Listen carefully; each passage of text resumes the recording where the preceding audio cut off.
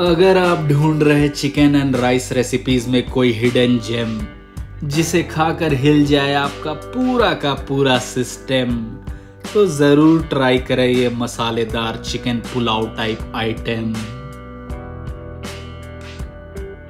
और best subscriber comment को मेरी तरफ़ से मिलेगा एक कस्टम एप्रन सीधा शुरू करते हैं रेसिपी छू कर आपके चरण. आज सीधा रेसिपी की सवारी करते हैं. तैयारी आप साथ साथ करते जाना. एक किलो चिकन को सबसे पहले मैरिनेट करना है एक नींबू के रस से। डेढ़ सौ ग्राम दही, मसाला चाकू पर रखे एक टीस्पून नमक, एक टीस्पून धनिया पाउडर, एक टीस्पून लाल मिर्च, एक टीस्पून गरम मसाला या बिरयानी मसाला जो आपके हत्थे चढ़ जाए। एक टीस्पून कुटी हुई काली मिर्च, तीन चौथाई टीस्पून सौंफ पाउडर, तीन चौथाई टीस्पून जीरा पाउडर और डेढ़ टेबल स्पून अदरक लहसुन का पेस्ट। इस मैरिनेशन में ढककर 15 से 20 मिनट के लिए छोड़ दें। एक कढ़ाई में डालें पाँच टेबल स्पून तेल और एक से दो टेबल स्पून घी। अब सारे चिकन के पीसेस को इसमें फ्राई करें मीडियम हाई फ्लेम पर 80 से 90 प्रतिशत तक पकने तक। फ्लेम का बराबर ध्यान रखें क्योंकि अगर कम हुआ तो पीसेस पानी छोड़ देंगे और ज़्यादा हुआ तो बाहर रंग जल्दी पकड़ लेगा। आगे की प्रक्रिया इसी तेल में करनी है क्योंकि चिकन का सारा मोम रस इसी में समा गया है। अब इन पीसेस को निकाल कर साइड में रख लें।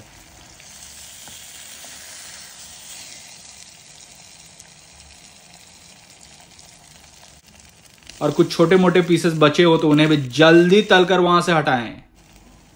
अब इसी धधकते हुए तेल में डालें दो तेज पत्ते, चार छोटी इलायची, दो बड़ी इलायची, पाँच लौंग, एक चक्री फूल, ढाई इंच दालचीनी और एक टीस्पून काली मिर्च। अब इन सबको हाई फ्लेम पर भून ले 45 सेकंड तक डॉट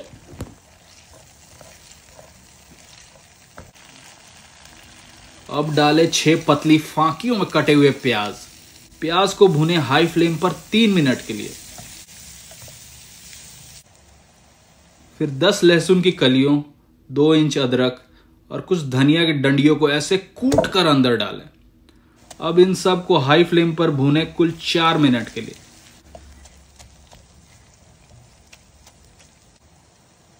अब आ गई टमाटर की बारी और इन सारे मसालों की फुलवारी। तीन चौथाई टेबलस्पून नमक, लाल मिर्च पाउडर, धनिया पाउडर, गरम मसाला या बिरयानी मसाला जो हत्ते चढ़े, और आधी टेबलस्पून जीरा पाउडर। अब इन सबको टमाटर के साथ मीडियम फ्लेम पर भुने चार मिनट के लिए।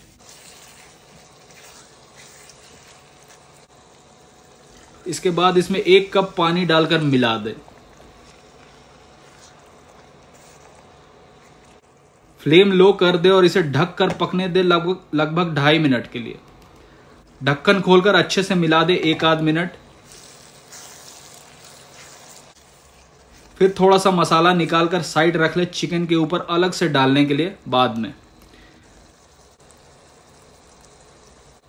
बचे हुए मसाले में 600 ग्राम भिगोई हुई बासमती चावल डाल दें।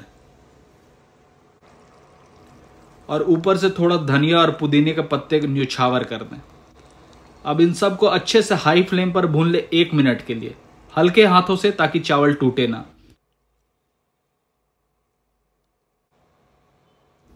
अब इसमें पाँच कप पानी डालकर फ्लेम हाई पर कर दें।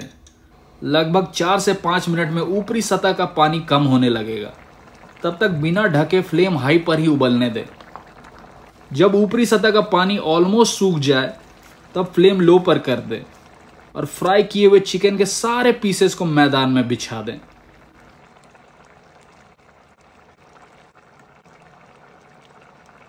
अब वो निकाला हुआ मसाला सारे चिकन के पीसेस के ऊपर बराबर या अबराबर तरीके से फैला दें।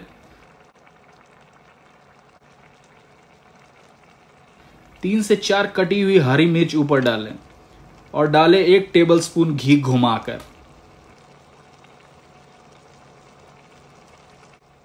अब इन सबको लो फ्लेम पर ही ढक कर पकने दे। लगभग 18 मिनट के लिए जब तक चावल से सारा पानी सूख ना जाए।